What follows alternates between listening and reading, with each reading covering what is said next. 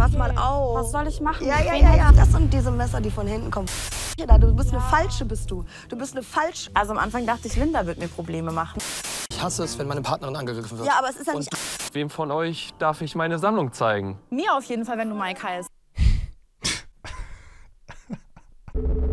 Was geht ab, Freunde? Wir kommen heute zu der allerersten Beauty and the Nerd Reaction hier auf diesem Kanal und natürlich zur ersten Folge davon. Das ist tatsächlich auch das Format, auf das ich mich im Moment mit Abstand am meisten gefreut habe. Also ich finde einfach so, das Konzept davon ist richtig geil und es ist natürlich mal was Neues, was wir auch noch nicht angeschaut haben. Deswegen auf jeden Fall ein großes Dankeschön hier an Pro7, dass ich darauf reagieren kann und ich bin sehr gespannt, wie das auch bei euch ankommt. Die ganze Folge hiervon gibt es bei Join, übrigens sogar kostenlos und immer donnerstags auf Pro7. Also wenn ihr das nochmal in voller Länge anschauen wollt, dann könnt ihr das gerne machen. Würde mich natürlich freuen, wenn ihr hier noch ein Abo dalasst und damit let's go. Das Ganze läuft jetzt so ab, dass hier nach und nach die Nerds kommen. Ich glaube, hier so von den Vorstellungen werde ich halt nicht so viel drin lassen. Und hier auf die Beauties treffen. Und dann dürfen die sich, wenn ich das richtig in Erinnerung habe, ja ihren quasi ihren Nerd aussuchen, mit dem die in einem Team sind.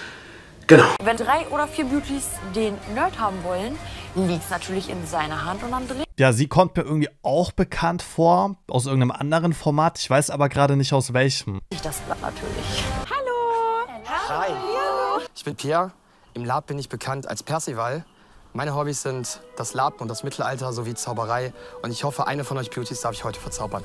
Oh, der war kreativ. Ich habe mir nur gedacht, dabei, wo er jetzt meinte, daher ist er bekannt, dachte ich mir gerade so, ist das ein Ort oder eine Stadt oder was ist das? Aber ich glaube, das ist irgendwas Fiktives, oder? Der kam so rein und ich finde, der war so warm in die Fresse, ich bin da. So, ich finde, Pierre ist so ein voll der Gewinner-Typ, so, weißt Ja, Shelly übrigens auch dabei. Die kennen wir ja noch aus der letzten normalen Are the One Staffel. Ansonsten Pierre, finde ich, hat eigentlich, also der hat jetzt nicht mal so schüchtern oder so gewirkt. Hätte ich irgendwie anders erwartet. Ich bin mit Harry Potter aufgewachsen. Game of Thrones habe ich alle Folgen gesehen. Die letzte Staffel war jetzt nicht so stark. Sehe ich genauso. Ja, da könnten die halt theoretisch sogar Parallelen finden dabei. Ich bin die Linda Novak. Ich denke, der ein oder andere könnte mich kennen. Der Bachelor, Playboy und Dschungelcamp. Also ich kannte sie noch nicht. Im. Lab bin ich meistens Braumeister. Das steht halt einfach dafür, dass ich gerne auch mal mit Leuten einen trinke. Ja, das ist bestimmt auch von Vorteil da drin. Ich frage mich halt immer noch, was ist ein, ein, ein Lab oder was sagt er da immer? Also ich, ich kenne nur Lat. Ich bin sehr, sehr trinkfest, genau, nein. Ähm, Aber der kommt echt richtig gut an. Also, so, ich finde, der ist voll locker und so. Richtig gut. Meine Stärken liegen eigentlich in meiner Fingerfertigkeit. Oh, das Ja, Also, wenn er jetzt nicht genommen wird, Freunde, dann weiß ich aber auch nicht. Jetzt sind die natürlich alle hellhörig hier, die Ladies. Das ist so eine Handtasche, die ich selber gemacht habe. Eine Schallplatte genommen, zusammengenietet an einigen Stellen mit Leder bearbeitet. Das ist so meine kleine Minibar in meiner Wohnung. Ist wie ein Vogelkäfig aufgebaut. Na, ich hoffe mal, die, die Wohnung ist nicht auch so aufgebaut. Aber mit den ganzen Sachen, ich glaube, der wird gar nicht schlecht bei denen ankommen. Ich nimm dich. Wir zusammen. Okay, Linda nimmt ihn. Okay, der nächste Nerd. Hi, ich bin der Chris. Ich liebe Achterbahn. Okay, also natürlich, Freunde, mit dem Namen, da punktet der natürlich schon mal. Und wer hat Lust auf einen gemeinsamen Adrenalinkick? Wirst du mit CH geschrieben oder mit K? Mit K. Mit K. Ich werde mit CH geschrieben. Heißt Christine. Ja, ich werde auch mit CH geschrieben. Ich bin eine besondere Beauty, weil ich eine Zahnspange trage. Bling, bling. Da bin ich mal gespannt. Ich glaube, da wird es auch Stress geben. Also hoffe ich. Warte mal, hast du lila Haare? Ja, ich habe lila Wie Haare. geil ist das denn? Wie geil ist das denn? Ja, die sind mir wirklich auch noch überhaupt nicht aufgefallen. Das sind coole Nägel. Danke. Mega. Und jetzt sieht man dich mal so von nah. Sie ist schon nach vorne gelaufen. Nimm ihn direkt mit. I'm a fame bitch.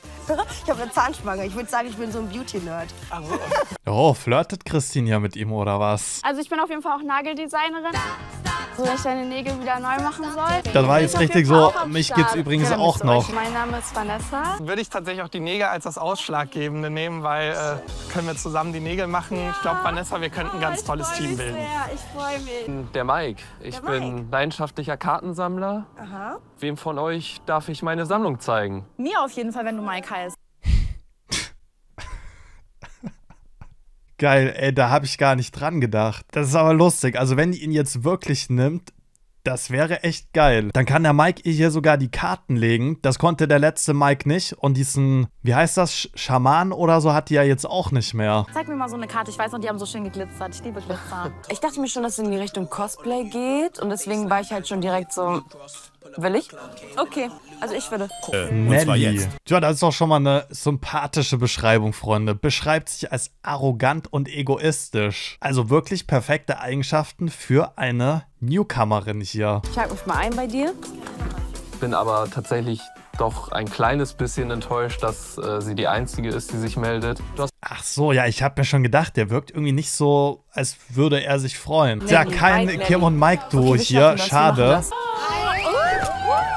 So, was geht? Ich dachte gerade, der fliegt dahin. Ich bin Daniel, ich komme aus dem Bereich der Wissenschaft. Wem von euch soll ich Nachhilfe geben? Aber Wissenschaftler in welcher, welchem Und Spektrum? sportlich, du siehst sportlich aus. Bisschen, bisschen. Ich studiere Biologie.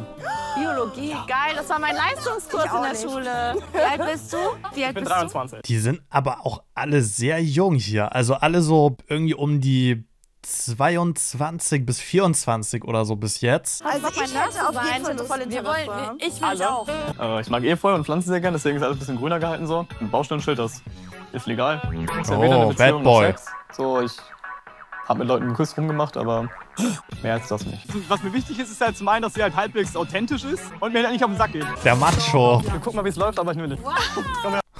Wir gucken mal, wie es läuft. Ey, ihr müsst mir mal bitte kommentieren. Ist schon mal in irgendeiner Staffel eine Beauty mit einem Nerd irgendwie so da rausgegangen? Also ich meine, das ist ja jetzt nicht unbedingt das Ziel hier, ne? Aber gab's das schon mal? Hatten da mal welche was miteinander? Oh, Deadpool haben wir auch dabei. Frisch aus dem Kino. Also da müsste Babu, glaube ich, hieß sie, oder links mit dem roten Kleid, da müsste die eigentlich zuschlagen. Also optisch wäre das ein Match. Ganz Mein Name wie der ist Kilian. echte. Ich bin 23 Jahre alt. Ich möchte auch für meine Beauty ein Superheld sein. Mit wem gehst du immer ins Kino, wenn du ins Kino gehst? Gehe meistens alleine. Also kannst du auch alleine mit dir Zeit verbringen. Ja, sehr gut. Bist du gerne allein? Klingt ja ein bisschen so wie, ja, kannst du auch alleine gut Zeit mit dir verbringen? Ja, ja, doch schon. Ah, okay, dann nehme ich dich nicht. Kurze Unterbrechung, Freunde. Über 60% der Leute, die hier regelmäßig zuschauen, haben den Kanal noch nicht abonniert. Deswegen würde es mich freuen, wenn ihr euch ganz kurz die Zeit nehmt und ein Abo dalasst. Ich bin halt nicht so einer, der jetzt irgendwo gerne in Clubs oder in Bars geht oder an eine Bushaltestelle und sagt, hey du, wollen wir Freunde sein? Nee. Ja, Also ich- wäre ich auch ein bisschen Ich komisch. möchte dich auch haben. Aber Shelly nimmt ich ihn. wollte so einen kleinen Süßi haben. Dann würde ich die Dame in Rot wählen. Okay, er hat sich für sie entschieden. Ja, wie gesagt, ne, optisch auf jeden Fall eine gute Wahl. Ich wurde noch nie von einem Mann gekorbt und der hat mich einfach gekorbt. Oh, der Kapitän kommt. Mein Name ist Sam, ich bin 24 Jahre alt, ich komme gebürtig aus der Pfalz, wohne in Mainz und ähm, ich interessiere mich eigentlich so für alles mit Schiffen, äh, Technik und deren Historie. Vielleicht schippert ja eine Beauty mit. Ah, nee.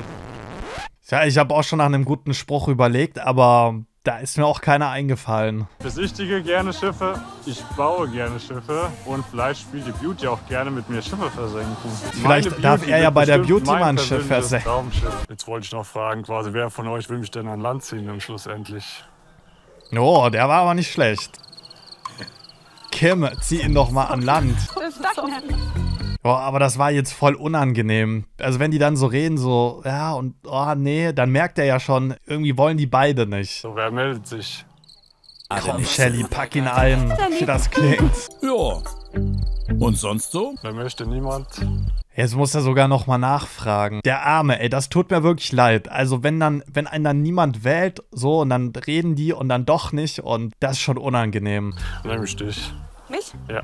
Ja, dann nehme ich doch dich, die, die so viel Bock auf mich hatte. Mensch, also bei, bei der Lust, die die beiden hier haben, ist das wirklich auch schwer, sich zu entscheiden, ne? Muss man sagen. Jetzt bin ich sehr gespannt auf Kims Nerd und haben wir ihn auch schon. Oh mein Gott!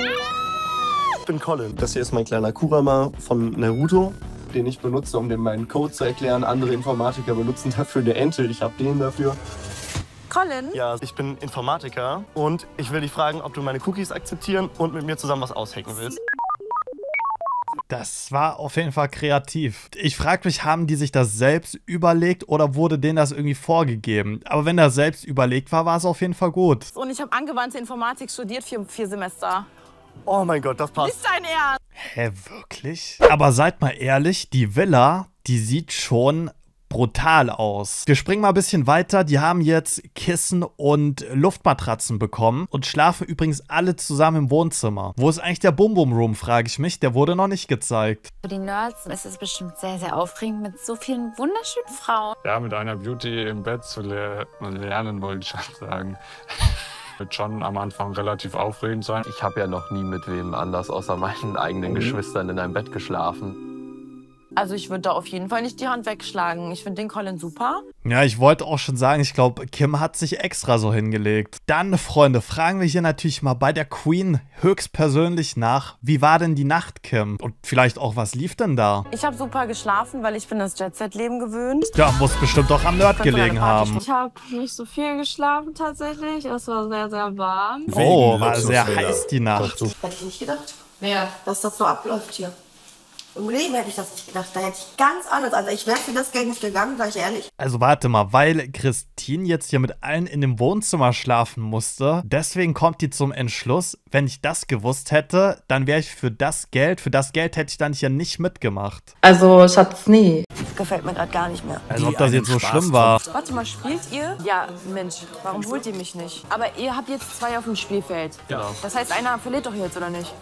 Ähm, erst wenn er quasi angreift oder ich angreife mit dem Monster. Sie hat es zumindest probiert, es Ja, zu das äh, scheint sie ja mega interessant gefunden zu haben. Und dann müsst ihr auch dazu Gespräche führen und dann das zu erklären und so, was du jetzt machen wirst.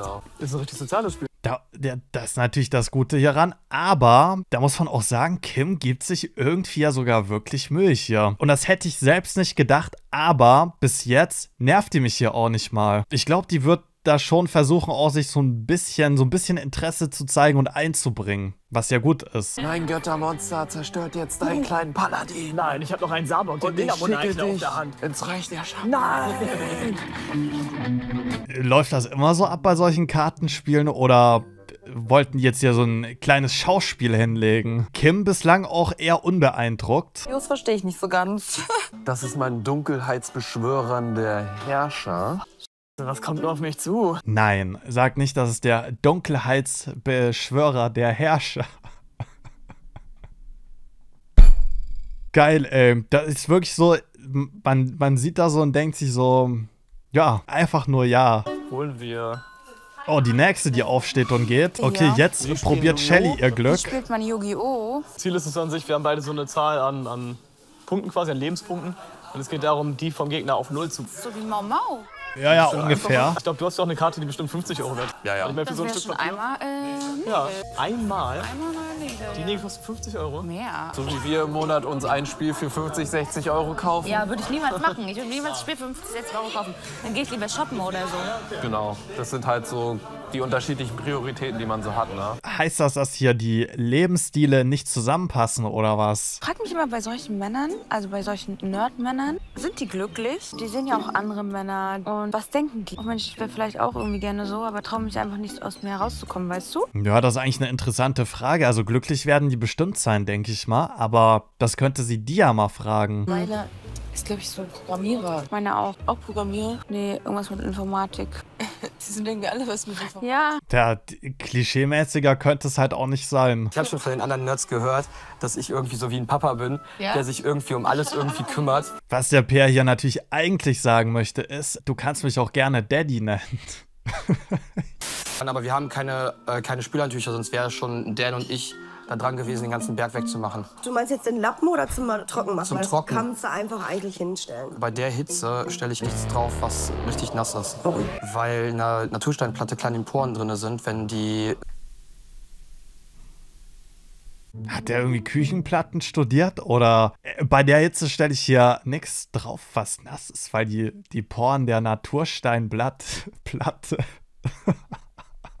Was, Bruder? Krass, ey, das, das hat der auch so rausgehauen mit so einer Überzeugung und so wie aus der Pistole geschossen. Also wenn er hiermit die Frau nicht überzeugt, Freunde, dann weiß ich aber auch nicht. Wasser ziehen und dann irgendwer eine heiße Pfanne oder irgendwie einen heißen Kaffeebecher draufstellt, kann es zu Mikrorissen kommen. Dann kann irgendwann auch so eine Platte platzen.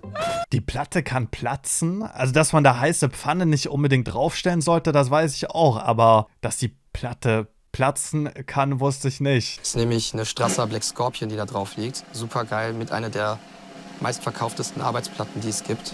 Geil.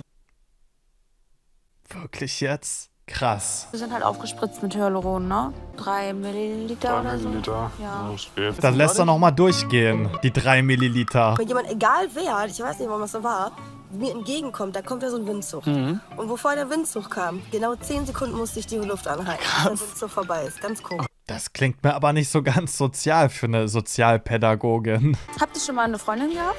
Nee. Noch nie? Ihr habt noch nie eine Freundin gehabt? Nee. Nee. Aber wünscht ihr euch eine Freundin? An sich schon. Ja.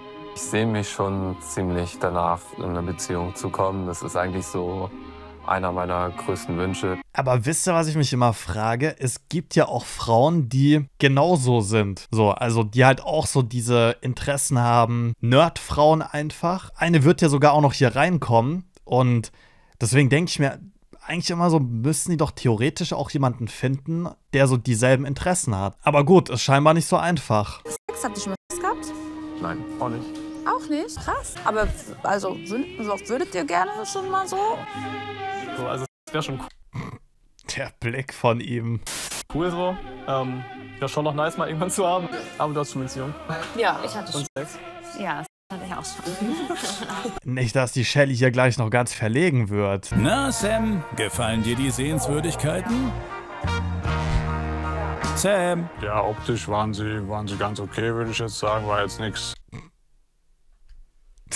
Sag mal, Sam, würdest du hier den Anker auswerfen oder nicht? Ähm, großartiges, übertriebenes, aber ähm, nichts, was mich auch vor, groß vom Hocker hauen würde. Halt Nix an, Neues für den Kapitän. ne? Na, kann man auch sagen, wenn man das so möchte. Äh, also, ich habe jetzt 75G. Wow. Ja, ich war so, warte mal, ich bin bei D, E, F, G, wow. Ich glaube, Kim war so bei, äh, wie, du hast größere als ich? Wie, ich bin hier nicht die Nummer eins. Also, Schatz, nee. Wie viel Gramm sind drin? 300. 550. Wow. Das Zentralgestein eines neuen Nerd-Geheimkults. Bröki, Brocken, Brökmann. Lass mich in der Challenge alles tun, was ich kann. Oh, der war gut. Irgendwie hat dann einer einfach immer Beten die jetzt so diesen Felsen da an oder was? was Dummes gesagt und dann der nächste und jetzt beten wir das Ding halt an. und äh, das ist jetzt irgendwie unsere Gottheit geworden so ein bisschen. Brücki, Brocken, Brötmagen, bitte verbrückel mir nicht das Spiel.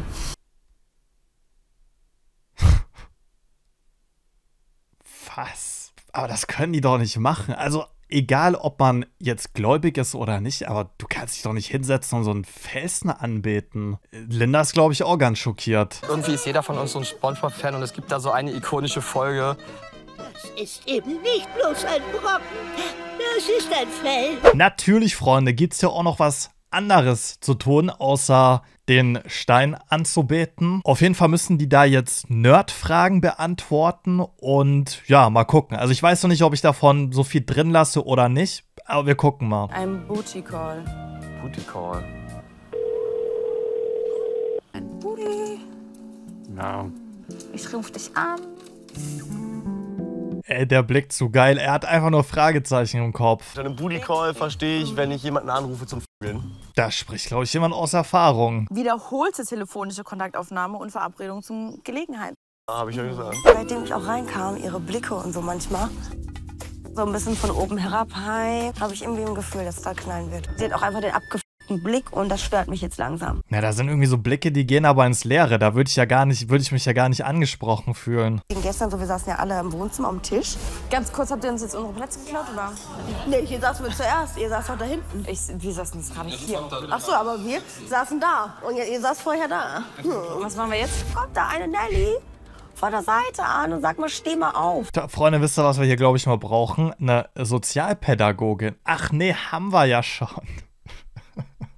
Ey, das ist einfach immer geil, durch welche Kleinigkeiten hier so voll die Probleme entstehen. Also ich glaube, ein Babu ist äh, von Frauen wie mir eingeschüchtert, habe ich das Gefühl. Ich komme da gerade nicht hinterher bei dir, ja Schatz, oder halt die Fresse und geh weg. Also am Anfang dachte ich, Linda wird mir Probleme machen. Dann hat sich ganz schnell rauskristallisiert, dass es Badu ist.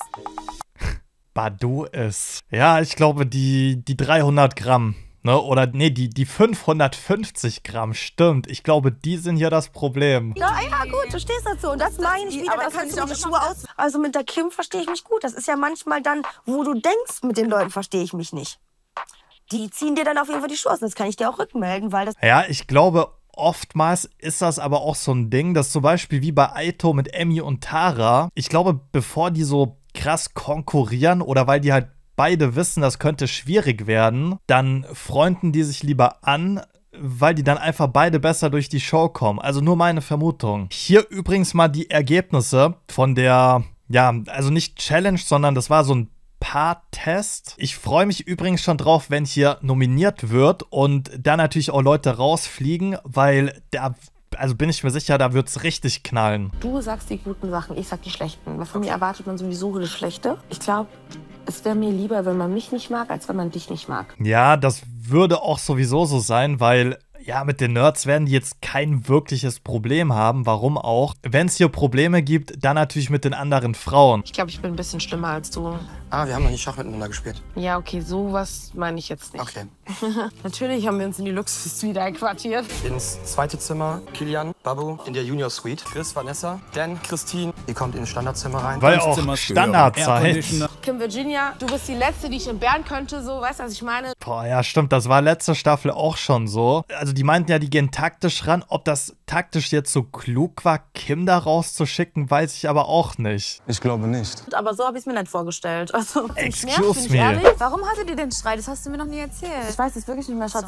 Für die ist es noch voll präsent gewesen. Für mich war das so, I really don't give a f Schatz. Dazwischen habe ich ungefähr 50 andere Leute kennengelernt ja, und ich fünf weiß. andere Feinde gehabt. Da, wo ihre Karriere beendet ist, nach einem halben Jahr, ist meine erst gestartet. Also heißt, die waren beide in derselben Bachelor-Staffel, oder wie? Und ich weiß auch, wie die Alliance wahrscheinlich am Ende aussehen wird. Wahrscheinlich mit Christine und Babu. Die Alliance. Was heißt das? Was heißt das? Allianz. Ach so, die Allianz, die Alliance, Freunde, wer kennt's nicht? Ich denke, durch die Bettenzuteilung haben sich jetzt so ein bisschen zwei Allianzen gebildet. Doch nicht alle meine, meine ganze Allianz in meine Räume nebendran. Weil so weiß man jetzt ganz genau, wer Lindas Verbündete werden soll. Guckt euch doch mal die Zimmeraufteilung an. Linda, Babu, Christine. Dann brauchen die noch eine vierte Person. Können die eigentlich rauskicken, wen die wollen, wenn die zusammenhalten. Ja, ja, stimmt, ne? Also das ist gar nicht mal so ungefährlich. Wir dürfen halt nicht immer darauf achten, so, ja, der ist mir sympathisch, sondern wir müssen jetzt wirklich ausschließen, wer ist der Beste, raus damit, weil der könnte Konkurrent sein. Richtig, Freunde, jetzt werden hier nämlich die Krallen ausgefahren.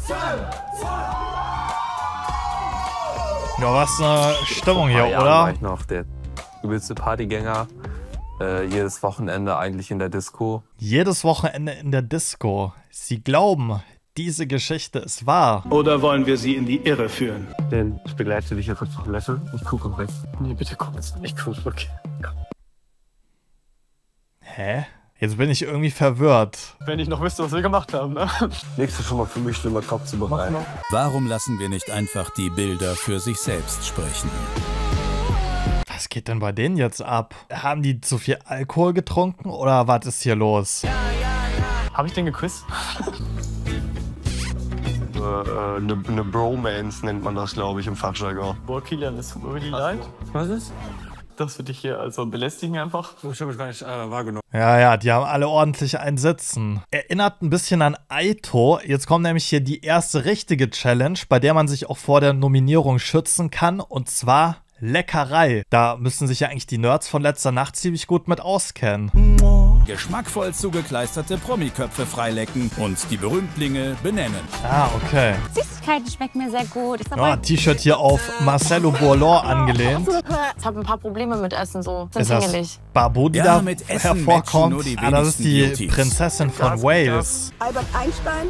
Relativitätstheorie? Ja. Wir machen Radioaktivitätstheorie. Patricia Blanco? Geil, ey, Patricia Blanco. Aber ich finde auch das Schwierigste daran, ist ja irgendwie die Leute zu erraten. Also Albert Einstein war auch dabei, den hätte ich erkannt, die anderen aber irgendwie nicht. Ja, vor allem Ach jetzt. so, ist klar, ne? Das ist ja. Ja, bleibt halt recht. Ja, da muss natürlich auch sauber gemacht werden. Stehst du eher auf blond oder schwarze Haare? Naja, wenn, wenn, dann tatsächlich eher farbig. Pink, grün, blau. Außergewöhnlich. Sowas finde ich halt. Ja. Ja, genau. Selbstreflektiert, moralisch und möglichst nett. Ja, was eine Eigenschaft natürlich. Nett, aber das haben wir auch noch nie so gehört, ne? Moralisch zum Beispiel. Äh, magst du eher ein bisschen dünner, ein bisschen zierlicher oder ein bisschen mehr Rundungen oder ein bisschen. äh, Ich glaube, über sowas möchte ich nicht reden. Ja? Oh, schade. Könnte jetzt natürlich auch daran liegen, dass er hier nicht so offensichtlich zugeben möchte, dass Kim genau sein Typ ist. Also, Schatz, nee. Dann gucken wir mal, wer vorhin gewonnen hat. Linda und Pierre, welch Überraschung. Krass, schon Wollt wieder. ihr mich verarschen? Zweimal hintereinander. Ja, was ein Applaus hier, oder? Ja, aber das könnte natürlich dann für die, also gut, dass sie gesaved sind, aber wenn die mal nicht gesaved sind, dann könnte es natürlich sein, dass die rausgewählt werden, wenn die so gut sind. Jetzt kommt das, worauf ich mich am meisten gefreut habe, und zwar nämlich die Nominierung. Bin ich echt gespannt, wer da rausfliegt. Deswegen haben wir uns für euch entschieden. Du, Oh, Christine hat eine Stimme. Oh, ich. Das sind diese Messer, die von hinten kommen, wo du gar nicht rechnest. Aber dann klatsche ich dich verbal weg. Ja, Schatz, was hast du denn gedacht? Was Das hätte ich von ihr nicht drin? gedacht, Mann. Hätte ich heute von den beiden Nachbarn, die in unserem Zimmer schlafen, noch nicht gedacht. Was ich heute für Gespräche da. Du bist eine Falsche, bist du. Du bist eine Falsche. Ey, krass, wie die sich da reinsteigert. Das ist halt immer das bei den Nominierungen. Irgendjemanden muss man ja nehmen. Da sollte man auch gar nicht so persönlich nehmen, wenn man dann mal eine Stimme abbekommt. Aber Christine sieht das halt ein bisschen anders. Pass mal auf. Was soll ich machen? Ja, ja, Wen ja, hätte ja. ich jetzt sonst? Werden Also- wir sehen, was gemacht wird. Auch gar nicht Oh. reden mit mir, ne? Das weißt du schon. Ja, ist Am besten sogar das Zimmer verlassen. Ja, ist okay. Easy going. Von wegen, dass eine gewisse Person hier unbedingt mit mir Stress anfangen möchte. Ich? Ja. Okay, wer sagt das? Das habe ich mitbekommen. Da frage ich mich gerade aber auch, stimmt das überhaupt? Also ich könnte mich da jetzt gar nicht dran erinnern. Da sieht aber jetzt gar nicht mal so gut aus für Christine. Bei ihm leider den Namen kenne ich noch nicht. Das wird, glaube ich, auch ein bisschen dauern bei den Nerds. Aber noch heute werde ich mir sowieso einen Namen weniger merken müssen. Und ich glaube, die könnte es irgendwie treffen. So, Sag mir mein Gefühl. Also ich glaube, Christine wird noch mehr Stimmen bekommen. Linda hat gesagt, lass einen Stress anfangen und du hast gesagt mit Shelly. Nein. Also eigentlich war ihr Problem ja mit Nelly und nicht mit Shelly. Dass man absichtlich Sendezeit generieren möchte, indem man irgendwelche Dramen erfindet oder kreiert, das ist was ganz anderes. Ja, man merkt schon, manche sind natürlich auch jetzt schon sehr geladen, wie zum Beispiel Christine. Aber, und deswegen hoffe ich auch, dass sie eben nicht rausfliegt, weil wenn die weiter drin bleibt, von mir aus gerne auch bis zum Ende, dann würde es ihr halt wirklich übelst Stress geben. Ab dem nächsten Mal. Die anderen haben das zu mir gesagt und deswegen war ich verwundert und deswegen Er tut mir irgendwie auch leid. Also der findet das immer lustig. Auch vorhin hat er schon gelacht, aber er, er steht halt einfach nur so daneben. Christine, du hast zu mir im Pool gesagt, dass die Linda. Hallo. Ja, nicht nur du redest. Ey, ich war gerade am Reden, hör du doch bist, zu. Mann, Mann? Pass mal Und auf, das- ich war am Sprechen. Ah, ich war am jetzt Sprechen. Guck mal, du jetzt wir- So, dann muss sie natürlich jetzt ihre Fresse aufreißen, aber gib es nicht. Was bei mir angekommen ist, ich Gib äh, es musste nicht. mich Ja. entscheiden. Wer kriegt denn jetzt die Stimme? Oh, Christine. Komm und fragst dir noch im Ratschläge. Jetzt versuchst du hier so zu machen. Ich hasse es, wenn meine Partnerin angegriffen wird. Ja, aber es ist ja nicht du machst, du greifst gerade jeden an. Nein, äh, angreifen? Wir machen doch greifst gerade echt jeden an. Ja, wenn der eigene Nerd schon sagt, die greift gerade jeden an, dann sagt auch irgendwie viel aus. Und es wundert mich, dass Kim bis jetzt noch so ruhig ist. Also, dass sie sich gar nicht mit einmischt oder so. Gut, die steht wahrscheinlich auf Christins Seite, aber trotzdem. Ich sag euch ehrlich, ich bin von Kim in dem Format sogar wirklich, bis jetzt zumindest, positiv überrascht. Das müsst ihr mal kommentieren, ob es euch auch so geht. Zeigen, dass man mit uns nicht rumpf. Darf ich das so sagen? Ist mir egal. Dass man mit uns nicht rumpf wird.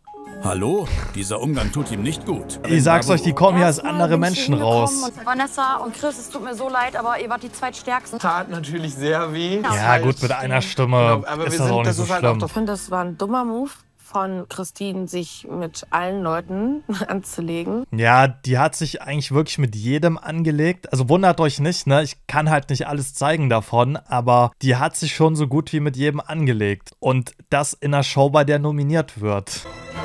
Ach so, Ich weiß nicht, okay. warum sie uns gewählt haben. Ich bin auch echt ein bisschen, ja, traurig. Also hier mal die Stimmen im Überblick. Aufgrund der Stimmengleichheit hat die Wahl das heutige Challenger-Gewinnerpaar, Linda und Pierre, mehr Gewicht. Das bedeutet, Shelly und Sam geht jetzt mit Christine und Daniel ins Exit-Fest. Ach so, stimmt, warte mal. Ich glaube, da habe ich gar nicht dran gedacht. Aber es gibt hier diese Exit Quiz. Also diese Exit Quizzes. Ist das die Mehrzahl? Du weißt, das, was, was du machst, habe ich nicht. Doch, habe ich nicht. Hast du, hast hier, du schämst dich und du wirst dich noch mehr schämen, wenn du das gesehen hast. Ich würde dich so schämen, wallah, billah, auf meine tote Mutter, ich Doch, schäme du mich. wirst dich richtig schämen. What the fuck? Ich schwör auf meine tote Mutter. Dass es so abgehen wird heute zumindest, hätte ich aber auch nicht gedacht. Vor allem, weil es am Anfang so ruhig war. Dann gucken wir mal ins Exit-Quiz rein. Also ich bin halt dafür, dass Christine und Daniel gewinnen. Einfach damit wir noch weiterhin Stress hier drin haben. Jetzt nichts gegen Sam und Shelly, aber ja, ich hoffe, dass Christine und Daniel gewinnen. Irgendwie glaube ich es aber nicht.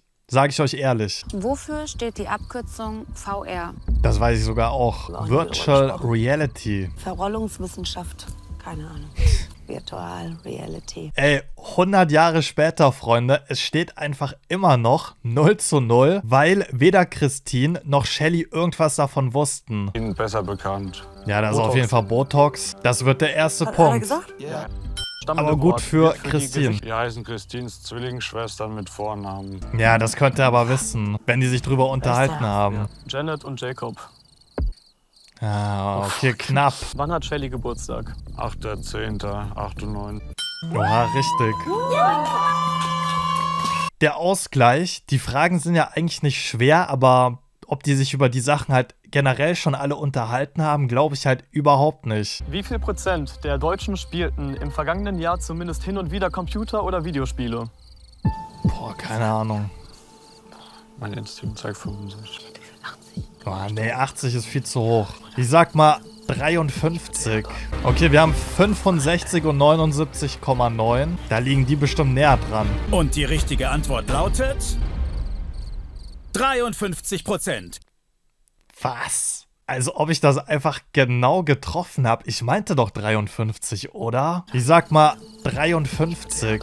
Hä, was? Ey, das glaube ich gerade selbst nicht. Ey, ich schwör auf alles, ich habe das noch nie irgendwo gehört oder gelesen, aber ich habe einfach so überlegt, dachte mir so 50%, über 50 bestimmt, aber so 60% oder so ist halt, ist halt schon echt viel und deswegen meinte ich einfach mal 53. Aber schade, bedeutet das größte Drama zieht heute einfach schon aus und das in Folge 1. Das ist so ein bisschen wie bei Aito, als Emmy raus war, da habe ich mir auch gedacht, so für die Staffel ist das halt schon echt schade. Aber gut, Freunde, das war es hier auf jeden Fall mal mit Folge 1. Ich bin sehr gespannt, was ihr dazu kommentiert und schreibt auf jeden Fall mal rein, ob ihr Bock habt auf die anderen Folgen. Lasst natürlich gerne auch noch ein Like und ein Abo da und wir sehen uns in einer Woche wieder mit dem nächsten Video. Also dazu, vorher kommen natürlich auch noch andere. Bis dahin und